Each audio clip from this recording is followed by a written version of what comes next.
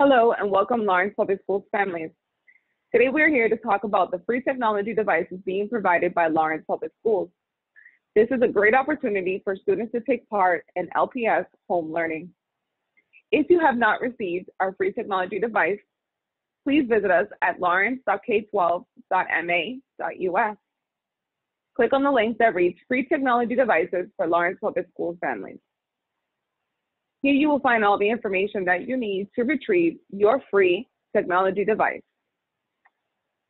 Each family will receive a Google Chromebook or an Apple iPad. If you receive a Google Chromebook, here are the steps on how to connect to the Wi-Fi. Step one, click on the quick settings panel at the bottom right of your screen. Step two, click on no network. Step three, select your home Wi-Fi network name. And step four, enter the password to join your home Wi-Fi network. Click on connect and that should connect you to your home Wi-Fi network. If you're utilizing an Apple iPad, please select the settings application shown here. Select Wi-Fi and once again select Wi-Fi and select your home Wi-Fi network. Enter the password and click join. You then should be connected to your home Wi-Fi network on your Apple iPad. Please take note, some students may not have received an iPad brick seen here.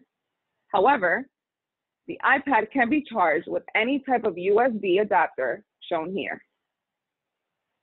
Once you have entered the Wi-Fi home network, please enter our Lawrence Public Schools website to share with you our resources for home learning.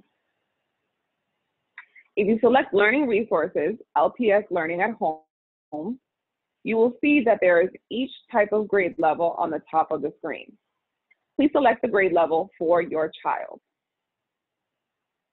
Once you select the grade level, you will see that there are several different subjects you can choose from, math, reading, science, writing con conversation, and enrichment. By selecting the subject, you will see different types of links to math games, math activities, and general resources for students to take part in home learning. Back to our home screen, students can also access their Clever login by selecting the Clever button on the bottom of the screen, selecting student login, and entering their five or six digit Lawrence Public Schools identification number. The identification number is both the username and the password. Thank you for joining us today, and we hope you're able to take part in Learning at Home resources by Lawrence Public Schools.